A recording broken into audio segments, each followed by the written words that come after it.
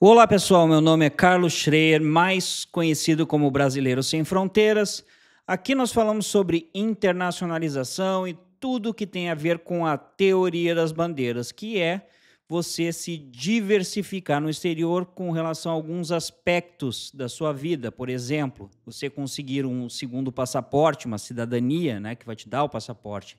Você ter um plano B, C, tirando uma residência é, legal em outro país, por exemplo, o Uruguai, você conseguir é, essas os documentos do Uruguai ou do Paraguai para você residir lá. Você deixa de ser turista, você reside ou não, você que sabe. Então você tem um plano B e continua residindo no Brasil. Isso não é cidadania, tá?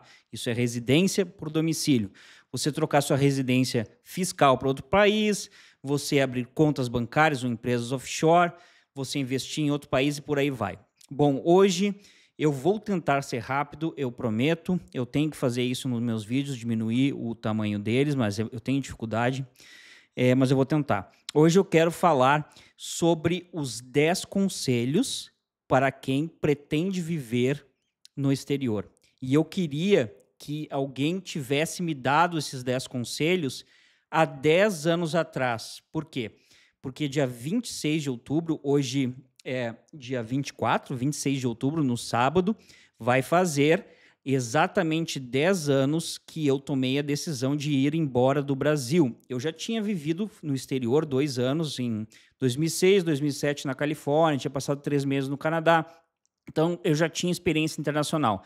Mas, dia 26 de outubro de 2014, quando a Dilma se reelegeu, eu deixei o Brasil. Eu tomei a decisão de ir para os Estados Unidos, para a Flórida, para trabalhar com imóveis, para vender para os brasileiros. Essa foi a minha decisão. E eu, eu, eu tive muitos problemas, tá? Eu aprendi muito nesses 10 anos e eu estou aqui para é, dar esses 10 conselhos que eu gostaria que alguém tivesse me dado. Mas antes, eu gostaria aqui também de mostrar para vocês que a gente vai fazer uh, uma promoção de novembro, tá? Essa promoção vai começar nessa live aqui, que eu vou fazer live de domingo. Eu vou fazer uma live dia 27 do 10 às 18 horas, um dia depois, né, da, dos 10 anos da decisão que vai ser respondendo pergunta dos inscritos. Essa live vai ficar até o dia 1 de novembro. Eu vou deletar ela dia 1 de novembro, porque no mês de novembro nós vamos ter diversos descontos de diversos é, produtos da Brasileiro Sem Fronteiras. Esses descontos vão ser, é, por exemplo, na residência. Residências por domicílio vão estar com 200 dólares de desconto. Por, é, por exemplo, para o Paraguai vai ser por pessoa, para o Uruguai vai ser por família. Para o Panamá vai ser por pessoa, vai ter diversos descontos, tá? Se vocês quiserem saber, é, vão ter vários links aqui na descrição, no primeiro comentário, para você entrar nesses links e saber mais, tá? Então, se você quiser saber mais sobre os descontos da consulta inicial de 50 minutos, você vai ter 30% de desconto no mês de novembro. Clique no link abaixo e se inscreva no grupo de WhatsApp e você vai receber o link lá dentro. Se você quiser saber do nosso lançamento do e-book, audiobook, né? Teoria das Bandeiras, comentado por mim, com 50% de desconto, se inscreva nesse link do audiobook. E se você quiser ser membro ultra VIP da comunidade, que é o melhor mem uh, da membership da, da, da comunidade, com 50% de desconto também, se inscrevam aqui e tudo isso vai abrir um grupo de WhatsApp para vocês. E ali dentro do grupo de WhatsApp vocês vão receber esses links. E também tem o grupo de WhatsApp das residências legais, que tem 200 dólares de desconto. Tudo isso eu vou responder essas perguntas na live de domingo, dia 27 do 10. Vocês podem perguntar tudo o que vocês quiserem, inclusive preços. Eu vou responder para vocês vai ser nessa live, mas a live vai ser deletada dia 1 Então, durante o mês de novembro, vocês vão receber todos os descontos possíveis e imagináveis durante esse mês de novembro. Então tá, vamos começar então o vídeo e eu quero tentar ser o mais rápido possível. 10 conselhos que eu gostaria de ter recebido e 10 conselhos para quem pretende ir viver no exterior. Uma introdução. É, eu falo Brasil sempre com Z, porque eu vivi muito tempo no exterior, então, para mim, eu me sinto assim. Brasil é com Z, então tem gente que fica é, me tentando corrigir achando que eu não sei falar. Sim, Brasil é com Z. Então, primeiro conselho: seja geograficamente livre. Trabalhe remotamente. Antes de sair do Brasil, se você puder trabalhar remotamente, já recebendo em dólar e não tiver preso a um lugar, por exemplo, você vai poder mudar de diversas cidades a hora que quiser. Se você escolher uma cidade e não gostar da cidade, você vai poder mudar ela é, para outra para poder se acostumar, tá? Então, por exemplo, eu consigo trabalhar onde eu quiser. Eu já estive, eh, morei em Sunny Isles, na Flórida. Depois morei em Orlando, na Flórida. Morei em Boca Raton, na Flórida. Morei é, duas cidades no Panamá, uma na praia, depois na cidade do Panamá e agora hoje a gente está em Santiago, no Chile. Eu não sei.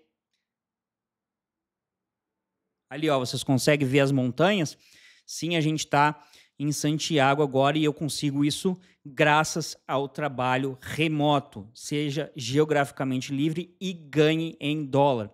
Se você não conseguir fazer isso, tenha uma reserva de um ou dois anos antes de sair do Brasil. Em, como se você calcular o custo de vida daquele país e ter a reserva em dólar. Então faz vezes 5 aí para você ter, porque senão você pode ter problemas. Conselho 2: dar saída fiscal. Muitos brasileiros vão morar nos Estados Unidos e na Europa e não dão saída fiscal. Isso pode prejudicar o seu CPF.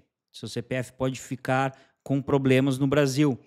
O que quer dizer isso? Você vai estar tá lá no país, trabalhando, feliz da vida, ganhando dinheiro e pagando os impostos naquele país.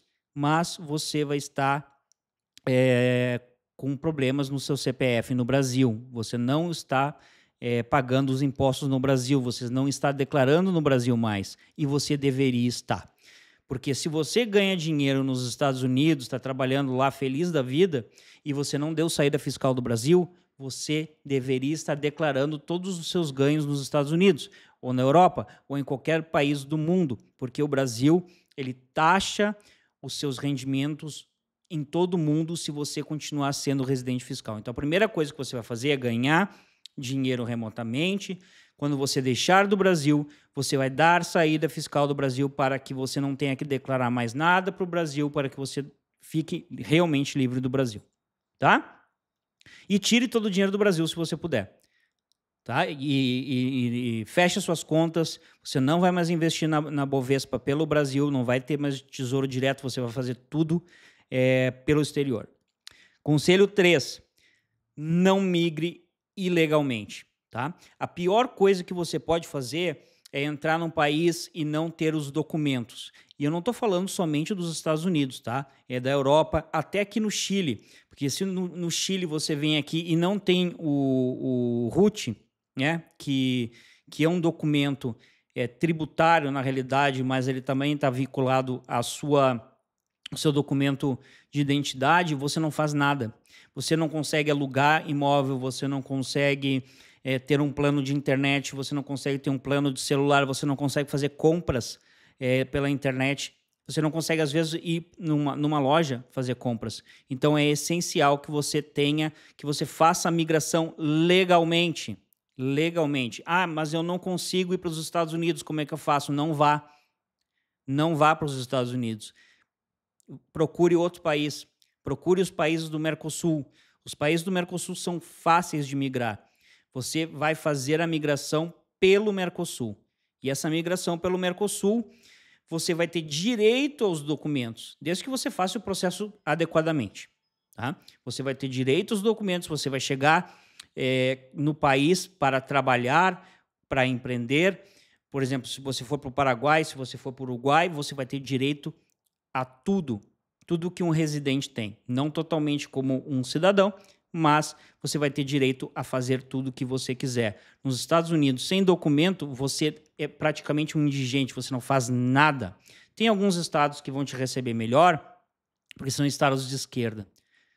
E esses estados é, vão, vão te proporcionar uma carteira de motorista, e olhe lá, mas você sem o Social Security, você também não tem uma vida decente nos Estados Unidos, tá? Você vai ter um ITIN number, que é um registro de estrangeiro, mas é, você nunca vai ter um crédito decente, você não vai ter uma vida decente, você não vai poder viajar. Então, eu sugiro que você sempre faça tudo é, na lei, tá? Conselho 4, tomar cuidado com brasileiros no exterior. É, principalmente aqueles brasileiros que mudaram para um país e agora querem ajudar o brasileiro a chegar lá. Aí você vai dizer assim, ah, e os que têm canal de YouTube? Aí você vai dizer assim, mas você não é a mesma coisa? Não. Eu sou, eu tenho uma empresa, tá? Já há muitos anos, eu mudei para os Estados Unidos para trabalhar com os mesmos clientes que eu já trabalhava, no Brasil, só que eu estava proporcionando um investimento diferenciado para ele que era em dólar. É, mas eu hoje em dia eu trabalho com uma rede de advogados tributar, tributaristas e migratórios e uma rede de construtoras é, de seguro de, de prestação de, seguro de vida, é, de investimentos, etc. E eu não tô, por exemplo, eu vou para um país e vou ajudar você a ir para o país. Não é isso que eu faço. Quem faz são os prestadores de serviços que trabalham comigo. O que eu estou dizendo para vocês tomarem cuidado é aquela pessoa que chega num país, o brasileiro, não tem o que fazer, não dá certo em nada, e ele abre um canal de YouTube para dizer como é que ele chegou lá e, e, fica falando da vida dele. E ele agora ele vai te ajudar a, a você migrar para lá também e ele vai ser um despachante, vai te ajudar com documentos, vai te ajudar no, a, a abrir conta no banco, vai te ajudar em tudo que ele teve que aprender sozinho, mas ele vai te ajudar. Qual é o problema disso? O problema é que ele faz coisas erradas, ele não sabe o que está fazendo, ele aprendeu errando, até que ele possa fazer algumas coisas, mas enfim, é, não faça isso. Tome cuidado, é, tente contratar especialistas é, locais ou que ou, brasileiros, então, que trabalhem com especialistas locais, sejam empresas robustas, que tenham um escritório, que você possa marcar é, para você conhecer o escritório, para você falar com a pessoa, não que seja tudo remotamente, entendeu? Então, é, tome cuidado com isso. E até uma observação: se você mudar para um país e não, não souber o que fazer no país, quiser empreender, não abra uma padaria brasileira. Não abra é, uma loja de açaí, uma loja de uma pizzaria de rodízio brasileiro, porque isso daí é muito perigoso, é, é, provavelmente não vai dar certo, porque você tem que abrir um negócio que você pensa que vai dar certo para a população em geral. É, não quer dizer que os chilenos vão gostar de, de pizza a, a rodízio. Não quer dizer que os chilenos vão gostar de coxinha de, ou de açaí. Os americanos, né? Aí os seus clientes vão ficar reduzidos somente à comunidade brasileira. Então tome cuidado em fazer isso também, tá? Esse é tudo no, no, no mesmo, tá? No, no mesmo conselho. Conselho número 5, seja mais racional e menos emocional na hora de escolher um país, tá? É, os estudos científicos eles é, apresentam os fatos, números daquele país e demonstram qual país é melhor do que o outro. Obviamente, Chile é melhor do que Paraguai. Uruguai é melhor do que Paraguai, certo? Paraguai está ficando melhor do que Brasil, mas Brasil ainda é melhor do que Paraguai. Paraguai é um país que está se desenvolvendo muito, é um país que é conservador, mas é um país que falta muita coisa. Então você vai analisar as diferenças de cada país através de números que são é, que, que, que têm esses processos feitos é, através de estudos científicos para identificar esses números. Só que as pessoas levam tudo isso ao emocional. Por exemplo, se eu falo é, que o Paraguai é pior do que o Chile em diversos tipos de estudos é, e características, o paraguaio vai ficar, vai vir no meu canal de YouTube e vai dizer que eu sou mentiroso, que, que eu não sei de nada, que não sei o que, não sei o que. Então ele está levando isso ao emocional. E muitos brasileiros vão também levar isso ao emocional, vão mudar para aquele país e vão se tornar patriotas daquele país. E eu sugiro que você não faça isso.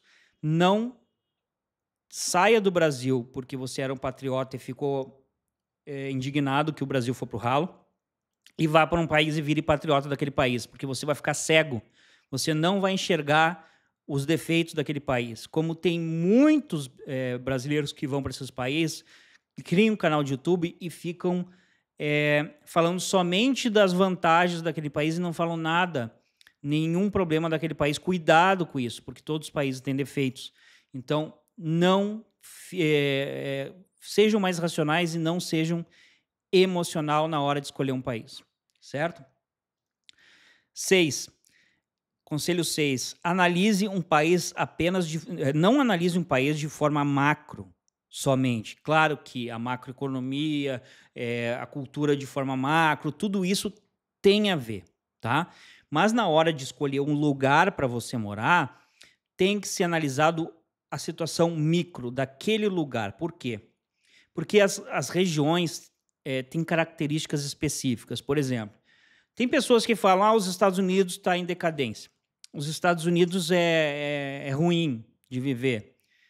Pessoal, os Estados Unidos têm 50 estados, tem uma população de 320 milhões de pessoas e tem diversos tipos de países lá dentro. Então, se Los Angeles está decadente, como é que você pode dizer que uma cidade lá no norte da Flórida está decadente? Certo? Ou uma cidade lá no Alasca é a mesma coisa. Então, quando você for analisar os Estados Unidos, por exemplo, analise a parte macro dos Estados Unidos, obviamente.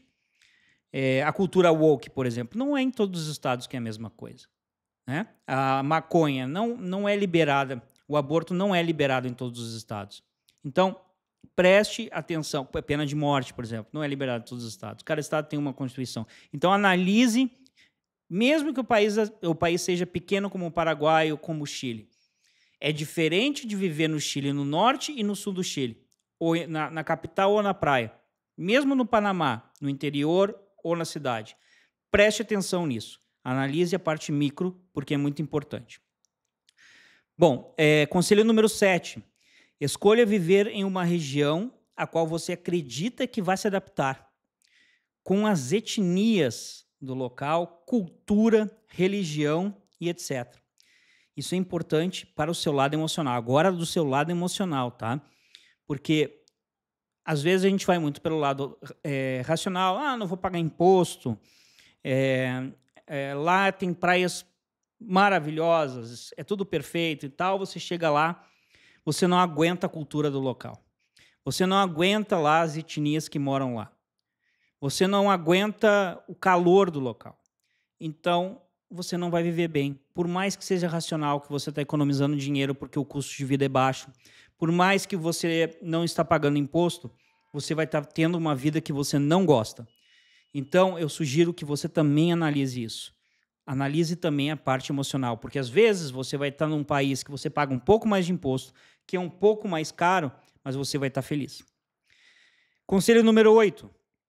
Não se envolva em confusão, tá? Ou processos é, processos de credores ou bancos ou o que for, é, qualquer confusão, tá? Qualquer coisa no país enquanto você não for cidadão. Porque não ser cidadão, ser residente é diferente. Você não tem os mesmos direitos, tá? Deixa eu aqui. Você não tem os mesmos direitos de um cidadão. Então, se você se envolver em confusão contra um cidadão naquele país, você pode perder sua residência, você pode ter consequências graves com polícia, você pode ser deportado, né? E então, assim, antes de você não virar cidadão, não faça nada. Pense bem se você vai querer algum conflito com alguém, certo? Conselho número 9. Não existe país perfeito, tá? E aqui eu vou falar de novo para vocês. Não existe país perfeito, não existe país totalmente sem impostos, por mais que você não pague impostos lá no Paraguai, não sei o que, não sei o que, é, IVA é 10%, imposto de renda é 10%, você vai pagar alguma outra coisa é, que seja ruim naquele país, vai pagar por isso. Né? Por exemplo, lá no, no Caribe, é, tem ilhas que você não paga imposto de renda nenhum, zero. Mas tudo que você vai comprar lá é importado, o dobro do preço.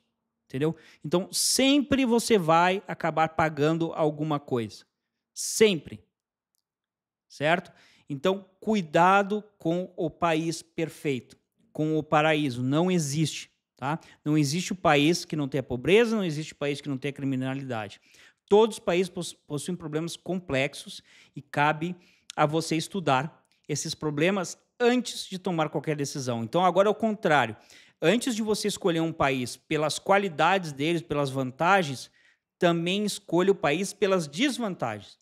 Vai lá, acha todos os problemas daquele país e diz: Eu aceito aqueles problemas. Eu vou mudar por, por aqueles problemas. Eu aceito, tá tudo certo. Conselho número 10 e último, que é o que você vai se surpreender.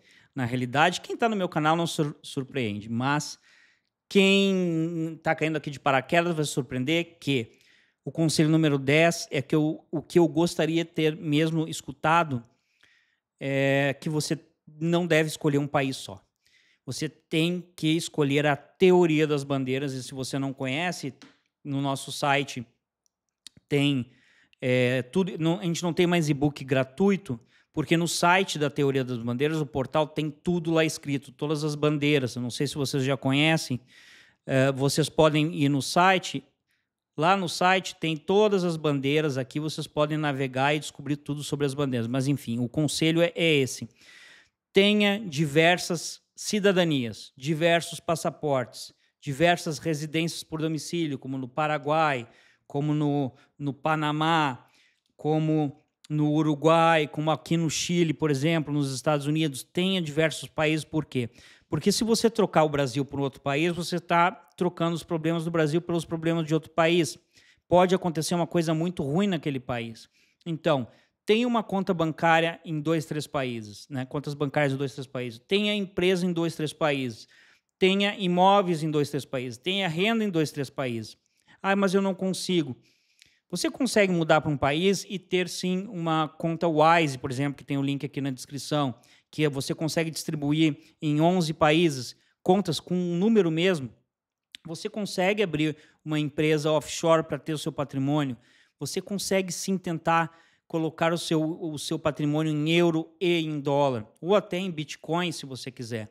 Então, isso é a teoria das bandeiras é você criar bandeiras, fincar bandeiras em diversos países, fazer um seguro de vida em dólar, fazer um, um seguro saúde internacional que te cobre em diversos países. Não mude somente para um, para um país, mude para vários países. Esse é o conselho que eu queria ter tido naquela época. Quando eu percebi isso, quando eu descobri essa teoria, eu disse: eu vou trabalhar com ela, vou estudar ela e vou trabalhar com ela. E foi isso, foi assim que eu criei a Brasileiros Sem Fronteiras e o site, o portal teoriadasbandeiras.com.br. E é assim que eu vou ajudar vocês do máximo que eu puder ajudar. Certo? Esses são os conselhos. É, sugiro vocês a prestarem atenção nos nossos descontos do mês de novembro. Residências com 200 dólares de desconto é, por pessoa. Só no Uruguai a gente tem pela família, tá? Porque o Uruguai já tem desconto para a família. É, nós temos 30% de desconto nas consultas de 50 minutos. Nós temos o nosso e-book, que o premium que foi modificado para audiobook com versão é, comentada por mim. Então você vai estar tá escutando o audiobook, escutando o audiobook e eu comentando o audiobook no final de cada é, capítulo. Bem interessante, 50% de desconto no mês de novembro e também o, a, a, comunidade Ultra VIP com 50% de desconto também no mês de novembro, certo? Todos os links na descrição e no primeiro comentário fixado. Esse vídeo então vai ficando por aqui. Um abraço a todos e até mais.